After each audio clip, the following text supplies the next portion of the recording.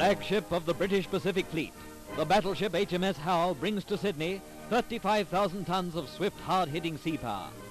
On the way to join her American allies in the final reckoning with Japan, she's one of the most formidable capital ships afloat. And she's all British, from her up-to-the-minute armament to the men who man her, the tough fighting men of the Royal Navy.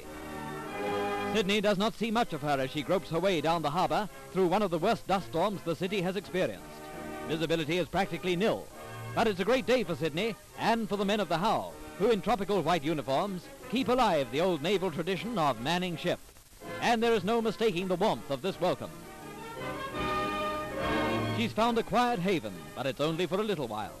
And here's Captain W. McCall, DSO, captain of the Howe, with his dog Guinness. Life had no zest for Guinness without a post. Now he has a post all his own. A Scotsman invented this custom to save razor blades. You have to get permission in the Navy to grow a beard and a special dispensation to take it off.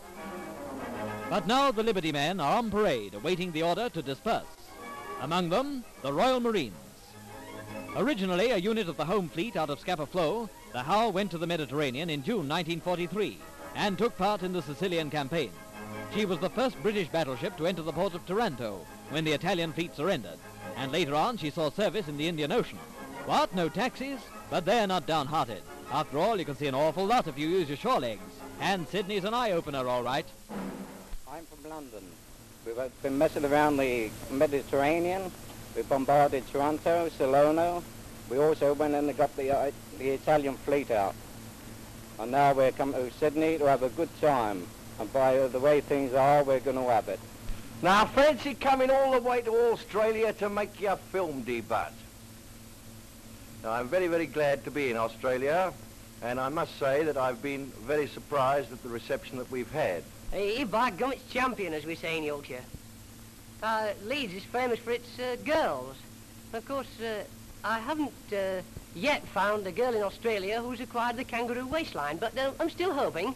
Last night when I was dancing with a very beautiful young lady, she turned to me suddenly and said, you look very much like George Formby.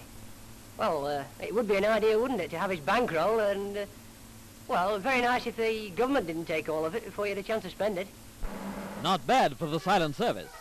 But it's time for ceremonial, and the Guard of Honor presents arms as Rear Admiral Moore, naval officer in charge of Sydney naval establishments, comes aboard. Traditions handed down through the centuries are kept alive in the everyday shipboard routine of the Royal Navy. And there are few quite so impressive as divisions, the naval equivalent of the Army Church Parade. The Howe is the flagship of Admiral Sir Bruce Fraser, the Commander-in-Chief of the British Pacific Fleet. She is the first British battleship with quadruple turrets. And in addition, she has 16 5.25 dual-purpose guns and enough close-range anti-aircraft equipment to make things very hot for attacking aircraft. Her 10 14-inch guns pack a budget of bad news for the men of Nippon. England's mighty battle fleet has seen action in many waters. It has practically destroyed the German Navy, has overcome the menace of the U-boat, has cleared the Mediterranean, and through hazardous icebound seas has convoyed ships to Russia, laden with food and war material.